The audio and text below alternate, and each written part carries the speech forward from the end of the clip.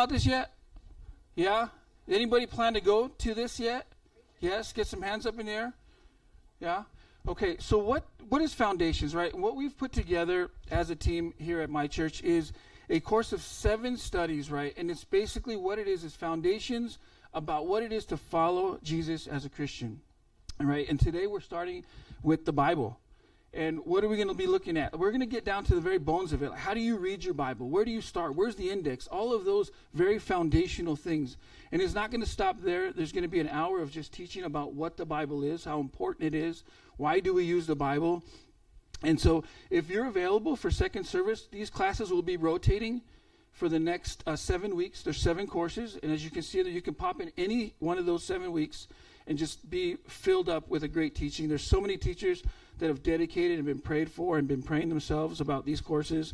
And they're actually in a year of making. So we started this in October of 23, started praying about this, and, and we have some people that are really dedicated to it. We just want you to have this opportunity to, see all the work that's been put in, but we know that God is just going to reestablish some of those foundations for us. So if you're interested in that, there's no sign up. You simply go upstairs uh, for second service, room 212. There's lots of signs that um, just take away all the excuses that I couldn't find it. And if you need more help, just come find one of us and we will take you there with, by your hand, okay? Amen? All right. Second service, room 212 upstairs.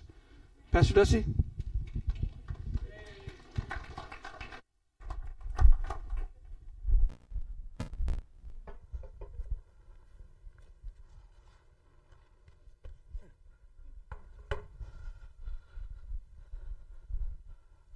Me give you a little background real quick. The uh, the foundations courses have been a continual growth out of what does it look for us, look like for us to actually fulfill the Great Commission? Go make disciples, baptizing people in the name of the Father, Son, and Holy Spirit. That making disciples piece is something that I think we are doing a wonderful job of right now I think there's also pieces of that that man our, our discipleship specific some of those pieces don't cover some of the like first step things. They might be second step things some of those. And if you have been raised up in the church a lot of those foundation pieces maybe you assume that you have those or that you know what i know how to read my bible i'm good. You know what's really good is getting a refresher on how to read your bible okay? And so uh, getting into that uh, with the group that is leading today. Who's teaching today, by the way? Is it Ramon? Ramon and Zania? Okay. Um, Ramon, it, how many of you were at men's retreat? Okay. Keep your hands up. Those around these, did you hear them worshiping this morning? Ooh. All right. We had a great time at men's retreat, and Ramon actually walked through a little bit of how do we even do scripture memorization? Why would we do such a thing? And if if that is something that you find that this week, if you look back and say, you know what? I don't even know that I opened my Bible this week. Um, I don't know. Here's an idea go to the foundations class. All right? Uh, be energized because Ramon is a guy that is energized about reading God's Word and he wants to teach you how to do that. And the other teachers that are part of this process don't want you to just kind of show up at church and go, So, what are we doing? We want you to know, we want you to engage, we want you to grow spiritually in that process. And a huge thank you to those of you that have been involved in that and will continue to be part of that. Um, this is not just a Sunday morning thing, this will also be starting on Wednesday nights. The Wednesday night will be a you're committing to go through all of them. The Sunday morning is a bit more, hey, I'm here, I, I would love to learn more about the Trinity. What in the world? How, how do I wrap my head around something that is so incredible yet so well revealed in Scripture. So grab onto those uh, as they come up on Sundays. And if you are interested in walking through each one of those, we would love to have you um, jump into the next round because I think this, the Wednesday night one is full, is it not? It's closed for now, um, but there will be another round after that as well. So we'll we'll let you know on that one. Grab your Bibles. We're going to go into Matthew chapter 18, continuing our look at Peter's process of growth in his relationship with Jesus Christ and how it is that we see the infilling of the Holy Spirit happening in the life of Peter and how that might kind of also show up in our own life as we look at our interactions with God, with, with Jesus, and how we, we read our Bible and, and then live our lives accordingly. And so, as we are going through this process, we have seen Peter fail. We have seen him come through incredible triumphs. And if you were at men's retreat, I think those are incredible triumphs. It was awesome the first night we got uh, sent out by Rick. Hey, just go out and ask Jesus to speak to you, which is a in kind of intimidating potentially thing to do. Like I'm gonna I'm gonna go alone into the dark night and ask Jesus to speak to me where there's snakes. What's that? I don't know what your experience, guys, that were there was with that. I know what mine was. I literally went and leaned up against my truck for a little bit and looked up at the beautiful night and just enjoyed that for a little bit. And um, I was talking to one of the guys about um, there's different ways that each of us kind of connect with God. And uh, I love being out in nature. I love being able to see things that are absolutely gorgeous. They, to me, are evidence and proof of who God is and the glory that He can speak that into existence. I can't even speak a turkey sandwich into existence, but God can just, and it's there. And I just sat in that, and I was like, all right, well, that's that's about it. Time to go back. Didn't feel like any word from the Lord, none of that. I'm like, you know what? I'm just going to walk down the, the hill a little bit. And John's house is up on this little kind of knoll, and it's a beautiful spot. Um, but I just kind of wanted to get down a little bit further away. I could still hear some other guys moving around, that kind of stuff. I'm like, if I'm going to really get with Jesus, let me get away from all this. And went out there, walked on the road for a little bit, and still nothing like earth shattering.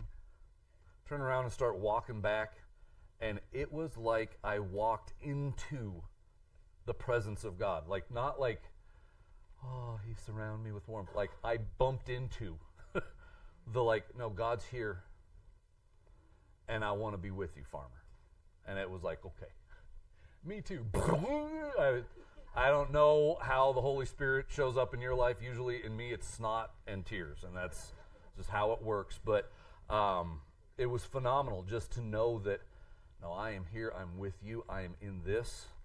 And uh, I hope, gentlemen, that you didn't just feel that, but you really experienced God as we were together. Peter got to have that kind of experience with Jesus. But I think he also still had some questions, and it's a delight. I love it when people are asking questions. I really do. It doesn't, to me, indicate doubt or lack of faith, it indicates interest. I don't know if you recall when it was that you started dating your spouse. All I remember there were a thousand questions. I want to know this person. I don't want to just ah, have the lovey feelings, but like really, I want to pour into this and make sure that I am not making some horrific mistake with the rest of my life. I want to know. And so when people are asking questions about God, I love that. And Peter asks a question to start this off. He says, Then Peter came to him and asked, Lord, how often should I forgive someone who sins against me? Seven times? And if you've never heard this before, this, this was actually kind of generous on Peter's part traditionally. Because there was a, a Levitical kind of command that was in place. It was not a biblical command, it was a traditional command from the teachers at the time that if you've forgiven somebody six times, you don't have to forgive them anymore. I mean, six times, that's a lot of times. And at that point, you just turn them over and they're like, nope, we're done. We're severing relationship. And it's an interesting question because Peter adds one more to that, saying, Jesus, I know what the teaching is, and I'm going to give one more. Is seven good enough? I want you, this is again class participation time. We try to do this on a regular basis. I want you to think with me. If you were Peter, why would you be asking that? Like, go into your own heart, go into your own motivations, think through that. When you get to the point where someone has wronged you enough times, why do you want to stop forgiving? This is honesty time. Throw it out there. Because it hurts. It, it is hard to forgive. It does feel useless when it has happened a hundred times and you're like, oh, sure, you're sorry. You get tired. Yeah. Not seeing change is what we love as parents, right? I want my kid to stay the same forever. Especially when they're in that spot where it's like, no, please, I can't wait till you grow out of this one. That would be great. We don't believe them. Oh, you're sorry? I've heard that before. And then you did it again. It is relationally expensive to forgive if we're actually doing it, right? It does hurt. It does have a cost to it. And we know that when it happens to us. And what Jesus goes with here as an answer to this is something that can be, if we allow it to be misunderstood, it can be discouraging. Why do we ask this? I I do think that at the root of it, we want to stop forgiving because we are offended and hurt by the thing that keeps happening. And it's a legitimate thing to say, is there hope for the end of this hurt?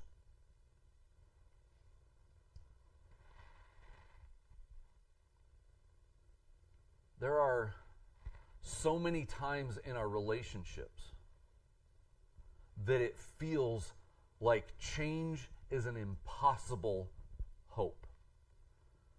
That if it's just going to be like this, I either have to learn how to live with it broken or let's swap it out for another one.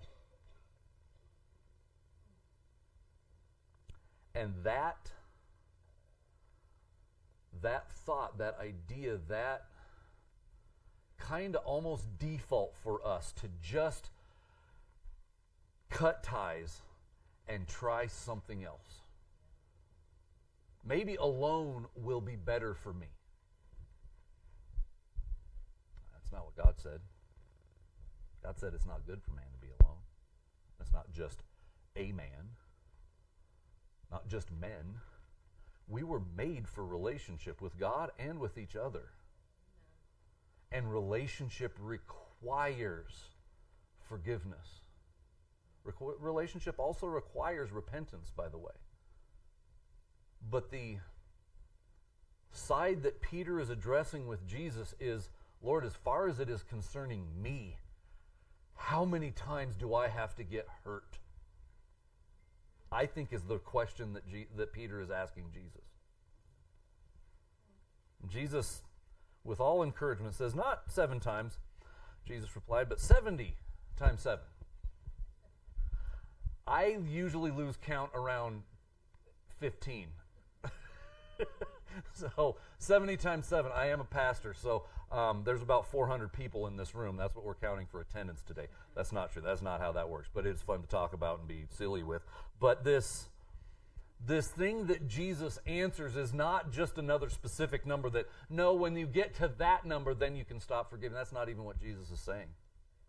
He's saying, "Peter, stop counting." It hurts to be in relationship with humans, full stop. It is expensive to be in relationship with humans. Why? Because all have sinned and fallen short of the glory of God. We are polluted with original sin. God didn't make us with sin, He gave us an a choice to make. Am I going to do it God's way or am I going to do it my way? And man chose to do it our way, and that broke things. Because God's way is to continue in relationship, man's way is to continue to protect self. And when we protect ourselves, we hurt others. And we can give ourselves all the excuses in the world about why it's okay to protect ourselves. And it helps us dismiss the fact that we have hurt others if I'm only doing it to protect myself. And all that does is pass on more hurt and more hurt and more hurt.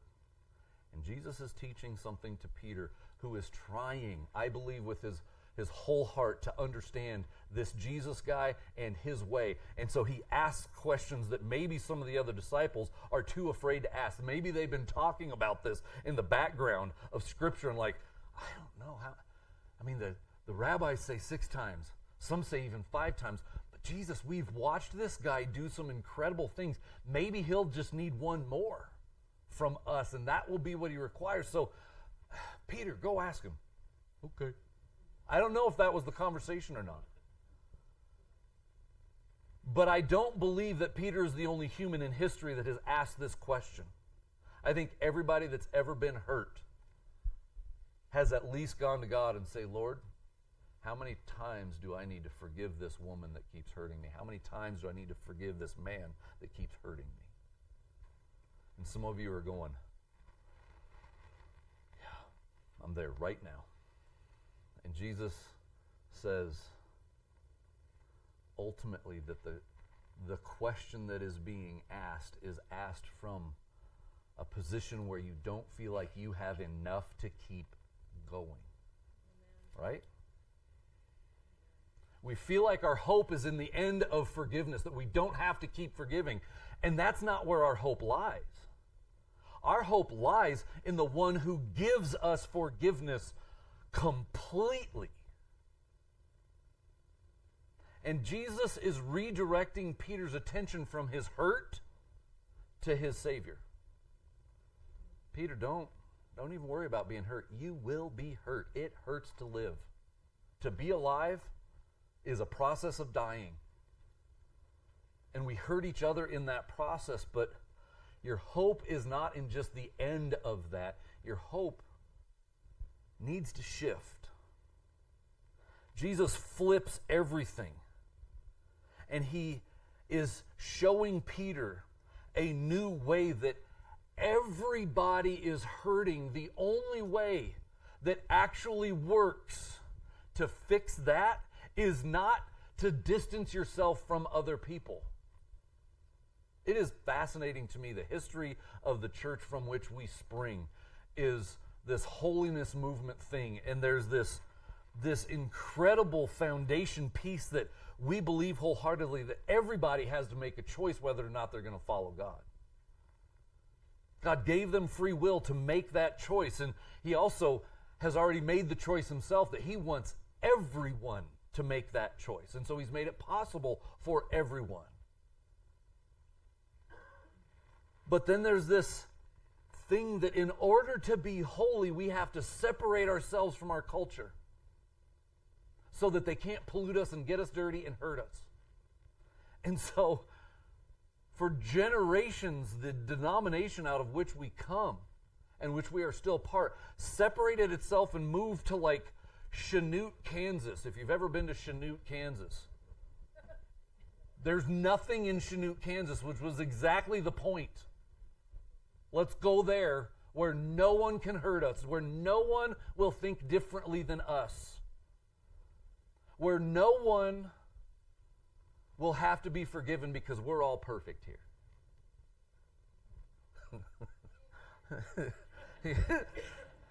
Room full of perfect people is what, what I'm seeing right now. I know all of you never have done a thing to hurt the person sitting directly next to you, let alone anybody else.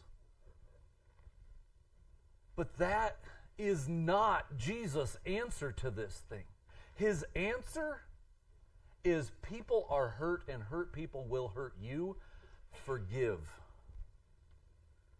Full stop. Forgive. The only way you're going to love anyone ever is to forgive them. You know why we have like things like American Idol and we have these people that are just, oh, they're awesome, Beyonce, mm, I, all that stuff. Because nobody gets to know those people for real except maybe some of the people right around. It's easy to love someone you idolize because you don't see any of the negative in their life, and that's not a real human. When it's a real human that you have to have interaction with, Jesus is teaching Peter and Jesus is teaching us that forgiveness for real, not in part, not with an expectation like, mm-hmm, yeah, I'm just waiting for you to screw up again, you big jerk. Not that kind. No, yeah, I forgave you. Yeah, it's, we're fine. We're good. We're good. It's okay. No, it's not. There's hurt. Forgiveness does not cover over things and say, no, it, it wasn't a big deal. Forgiveness says that hurt really bad. And I still choose to love you and I choose to give you something that you can't get for yourself. You can't earn this, but I give you grace. This is what Jesus is p- teaching Peter right now. And then Jesus goes into a parable. He says, Therefore, the kingdom of heaven can be compared to a king who decided to bring his accounts up to date with servants who had borrowed money from him. In the process, one of the debtors was brought in who owed him millions of dollars. That's what it says in the NLT. Uh, the, the, the Greek here actually says 10,000 talents. And talents are not things like I borrowed the ability to learn to play guitar, not like that type of a talent. It's, these are actual measurements uh, of, of weights. What this is, this breaks out to 375 tons of silver. Those of you that might be like, ooh, the economy's bad, let's invest in gold and silver. Anybody have 375 tons at your house? No? Your house would fall to the not yet, you're right. Your house would fall to the center of the earth. I mean, I would be shocked if this building weighs 375 tons. To give you some perspective. 375 tons is not a small amount of anything, let alone silver. What Jesus is saying here is the debt that this servant has is unpayable completely. And I love what the servant says later on. No, I promise I'll pay it back. okay, buddy. It's like our national debt. We'll pay it back. Trust us. We've got $459 trillion just somewhere else. Ask me later. Is that you, Mom? Hold on, I'll be right back. This is a debt that cannot be paid back. And it says that he couldn't pay back, so his master ordered that he be sold along with his wife, his children, and everything he owned to pay the debt, which wouldn't pay it. But the man fell down before the master and begged him, Please be patient with me, and I will pay it all.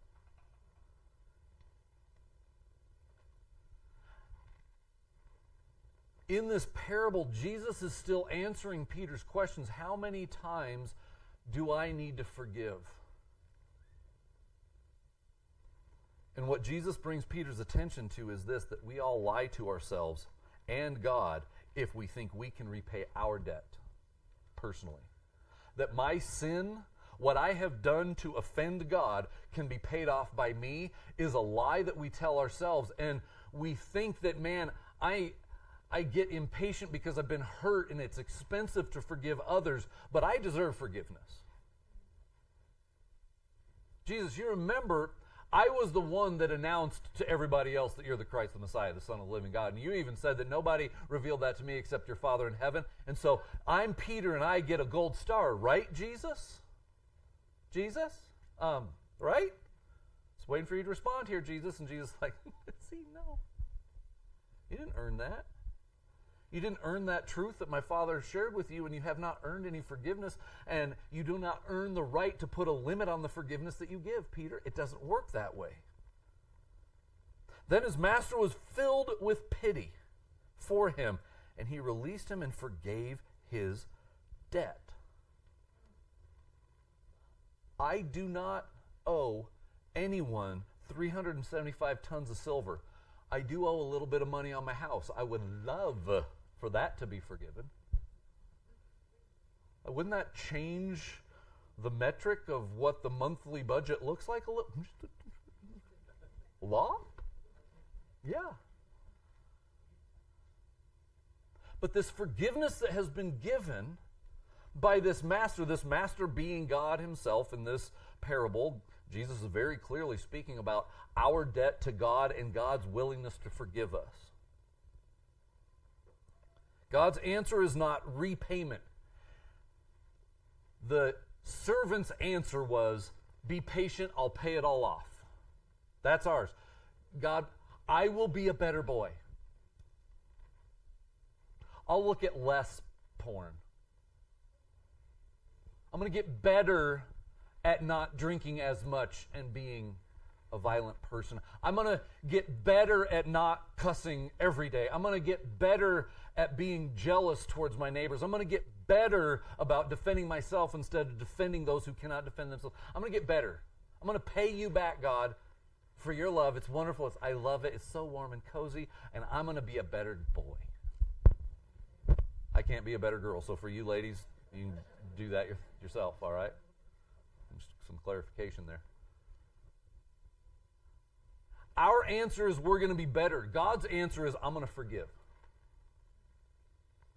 Because being better at being a sinner doesn't make you any less a sinner, doesn't make you any less broken. We're still broken. His standard is absolute perfection. The standard we try to measure ourselves against is listen, I didn't hurt them as bad as they hurt me. The debtor came with an answer. He said, Be patient, I will pay it back, which is an absolute lie. Can't do it. There's no way in the world you're going to repay 375 tons of silver. You buy a silver mine and mine it for the rest of your life, you'll never get that much out of it. You're not going to repay that ever. God's answer was forgiveness, not repayment. But when the man left the king, he went and went to a fellow servant who owed him a few thousand dollars. This now we can understand this amount of money. he grabbed him by the throat and demanded instant repayment. His fellow servant fell down before him and begged for a little time. Be patient with me, and I will pay it, he pled. But his creditor wouldn't wait. He had the man arrested and put in prison until the debt could be paid in full. And my encouragement to you is this, and I wrestled with this one a little bit because I was coming at all this in a very much negative way and an instructive way. and it's like, okay, farmer, chill out. Let's look at this for a little bit longer. And this is what I came to. I believe that we need to take God's way, not his place. Taking on God's way of forgiving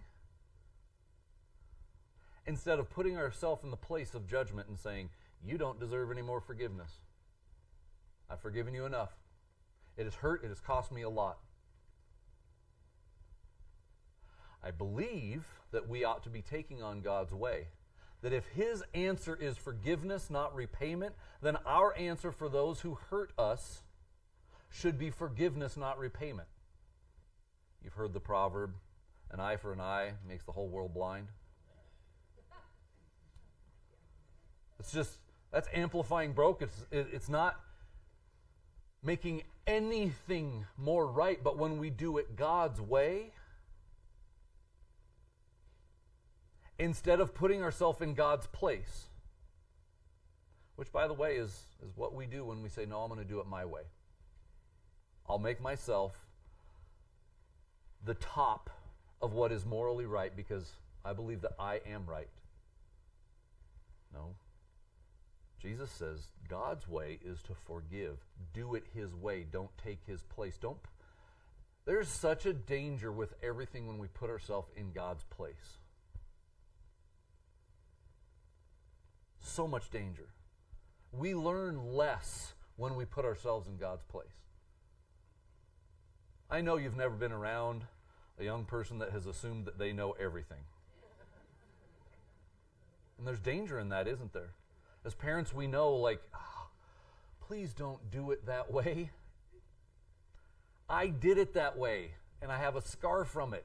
So don't do it that way. Nope, I got it. Um, can we go to the hospital real quick? But when we take on God's way and say, I may not understand how to do this, I may not know why it is that God wants me to forgive this person again. Are you kidding? But because He said to do it, I will do it. God, this is expensive and it hurts me every time. But I choose this because you have chosen us for relationship with each other and with you. And the only way relationship works, according to you, God, is forgiveness. And so I choose to forgive again.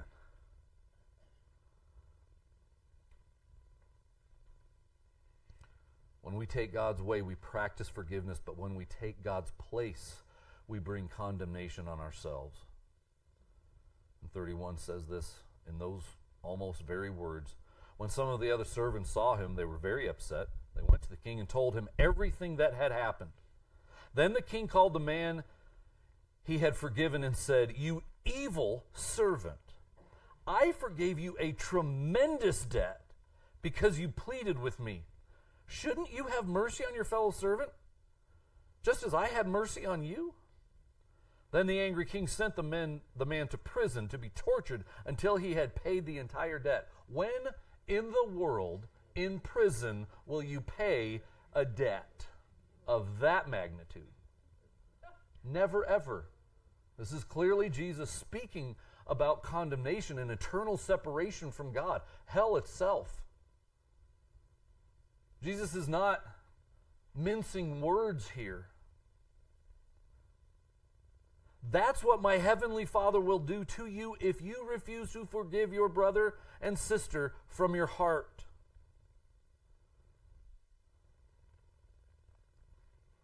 Jesus is telling Peter, Peter, there, there is no numerical limit that I want you to forgive someone else. I want you to choose ahead of time to forgive. I have this conversation with every single couple that I do premarital counseling with.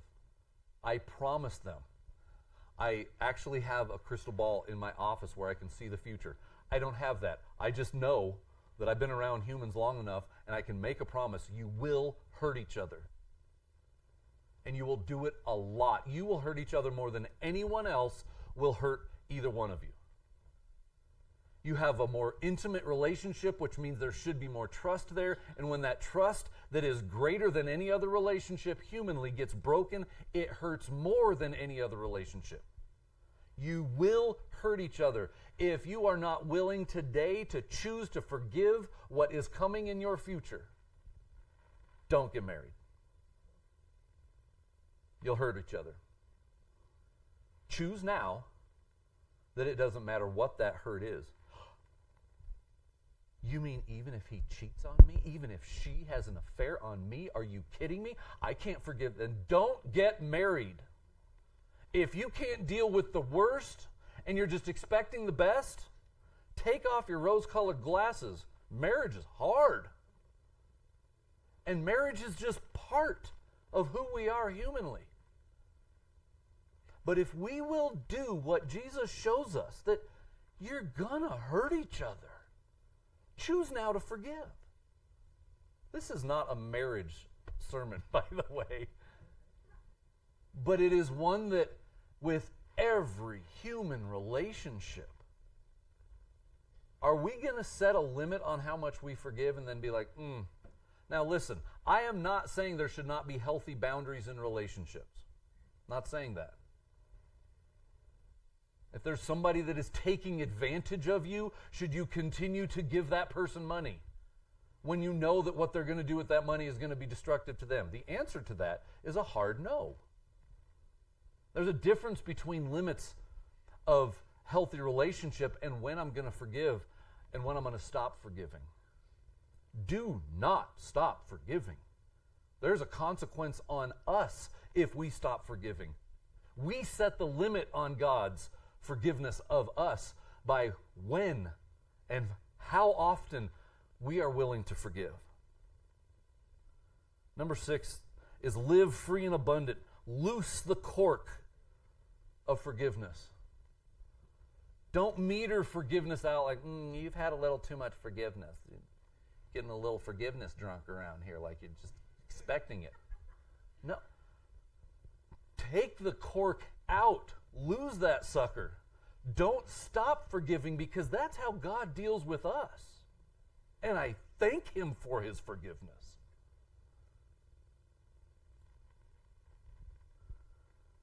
This whole conversation that Peter has with Jesus, and I, I don't think Peter came at this from a bad place. I think he came at it from the same place that all of us come at it. That when we know that forgiveness is not just some easy thing to do, we know it actually costs us something.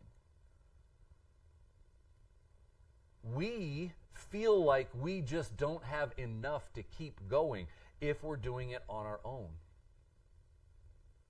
It becomes a standard practice, though, that if I will go to God for all of my supply, it becomes significantly more likely that I will forgive every single time. But if I am looking at the person that hurt me to be my love, to be my supply, to be my everything, then forgiveness is going to be impossible because they're going to run out too. They can't make up the debt they have brought between you and them. You cannot make up the debt that you have brought between yourself and others or between yourself and God. And so his idea is not repayment and making it better. His idea is absolute forgiveness to say, I choose to love you though you chose to hurt me. Can we move on from it now? Can we learn ways that keep that from happening over and over again? Let's do that. That costs more even in the future to actually forgive. But it also restores relationship. That's what Jesus is about. And as we this morning are going to be celebrating communion, and there are pieces of this that I'm not, not pieces of communion, there's definitely pieces of communion in here. But there are so many aspects of this. Uh, Ken led us men uh, yesterday through the process of, of communion, and it, it struck me yesterday that there is hurt that has been experienced that we can forgive because we can go to that person and have a conversation and restore relationship. But there's hurt that has happened in this room with people that we will never see again because they've already died. There may be offense that has happened to you by someone you didn't even know that you couldn't even track down. And Jesus takes that hurt as well and he takes it on himself. It says that he took on the sin of the world. That that weight There's sometimes when I read scripture I go, did Jesus say that because that's an exact amount? Was the weight literally of the sin of the world 375,000 tons? Does Jesus ever lie? I don't think so. He I don't. That'll be a question I have when I get to heaven. Hey, Jesus, how heavy was the sin of the world? 375,000 Got you, boo. I carried that sucker. I took it on. It wasn't mine to carry. I didn't commit the sin that hurt you, but I am willing to own that so that you have somebody to forgive and somebody that'll forgive you.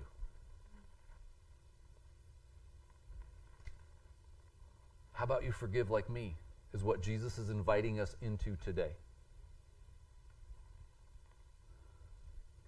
Romans 12, 2 says, Do not conform any longer to the pattern of this world, but be renewed in your mind by Scripture. The pattern of this world is unforgiveness, retribution, self protection. The pattern that God gives us is self sacrifice. That He knows the cost. If it's 375,000 tons, I'm misquoting that number, aren't I? I apologize.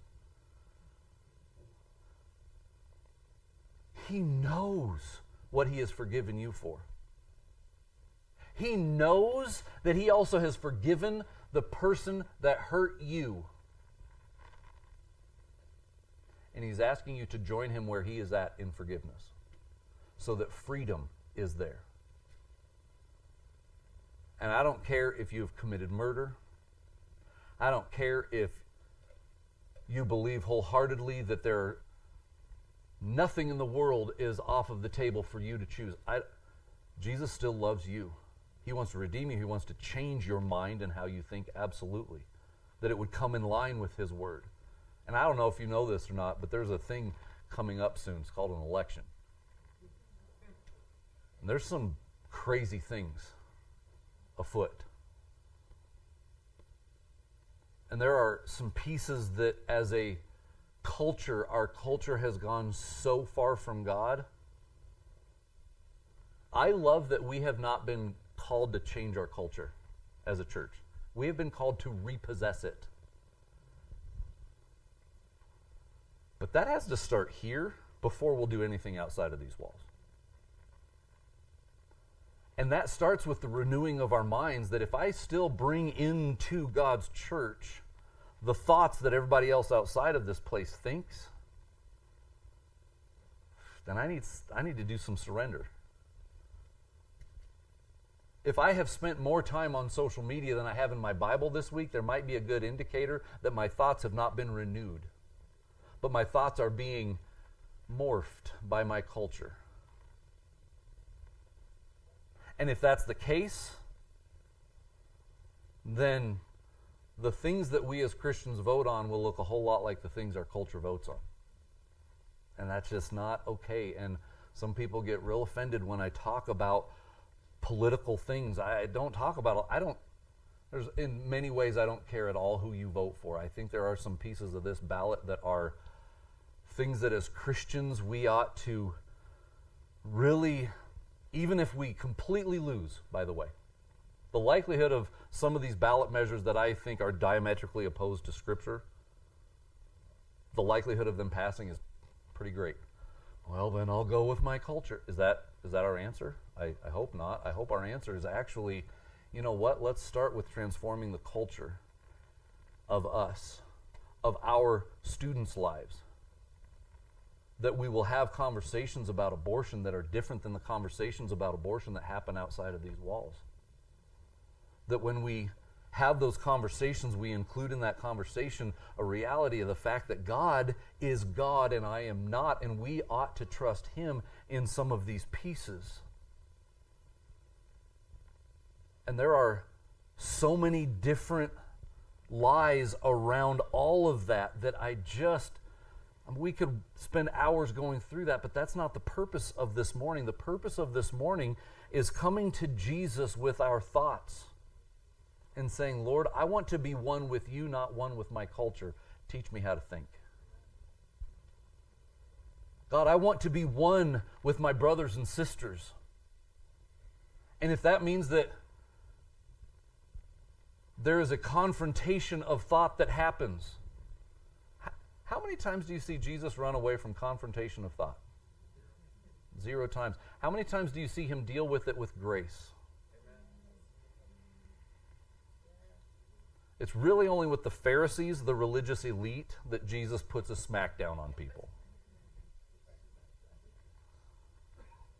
But when it comes to real honest conversations, Jesus deals with those and says, you know what my answer is? My answer is to forgive and to keep God in his place and to keep me in my place.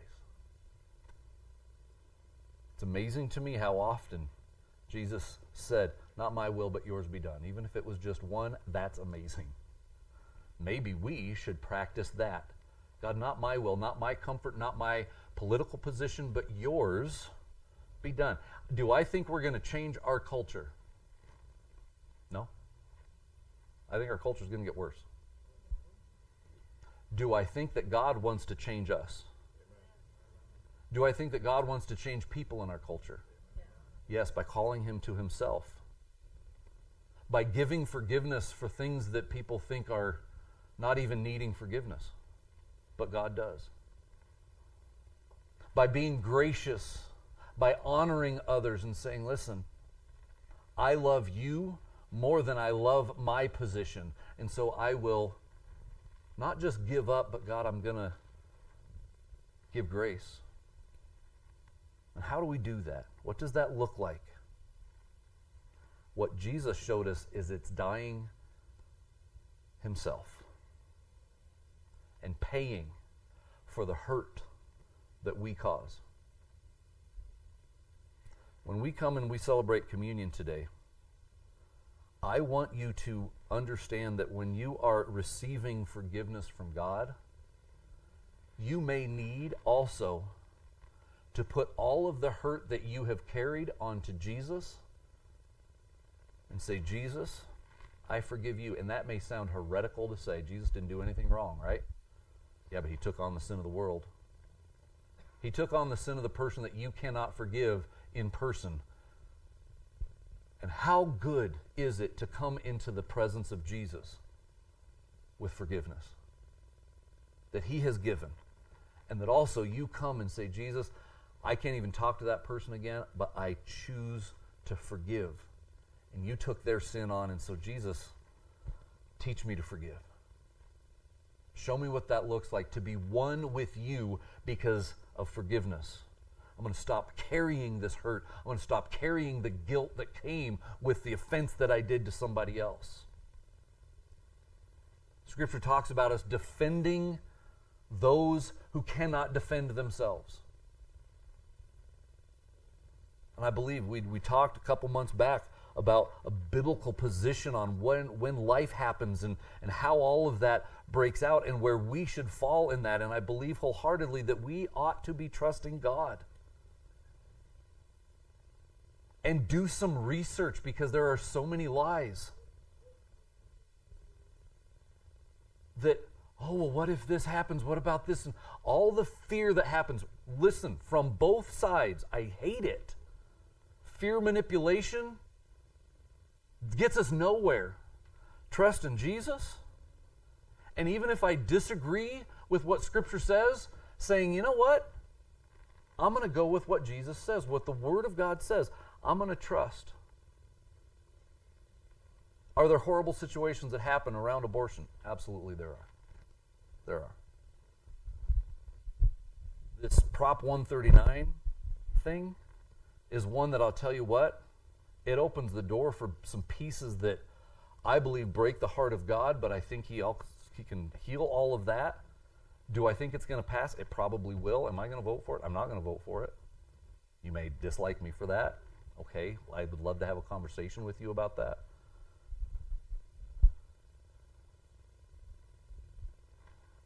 Do I think that life should be in the hands of doctors?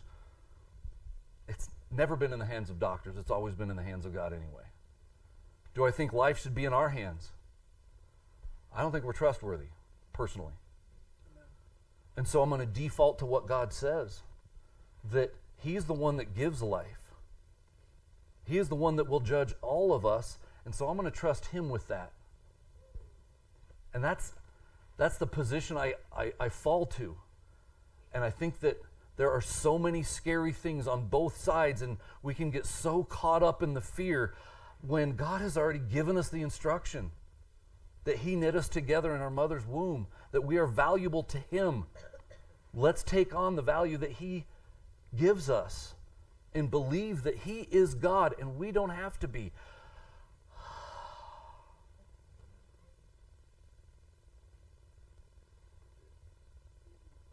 I want you to come to Jesus with your position, and I want you to ask Him about it today.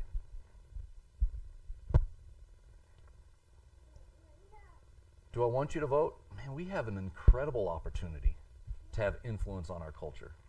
Yes, vote. Be salt and light. You know what salt does? It slows the process of putrefaction in meat. Does it stop it? Nope. But it slows it long enough, maybe, for some redemption to happen. We are called to be salt and light in a dark world that is rotting away. I don't care if that thought and some of those pieces Don't change our culture. We're called to repossess with the love of Jesus Christ.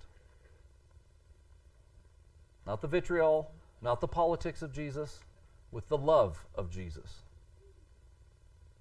I want you to come to communion today. And if I have ticked you off today, I want you to come to communion today. If I have spoken all the wonderful words and I didn't go far enough, I want you to come to communion today. And let God be God and accept the forgiveness He has given you and give forgiveness like He has given it to you. Will you do that?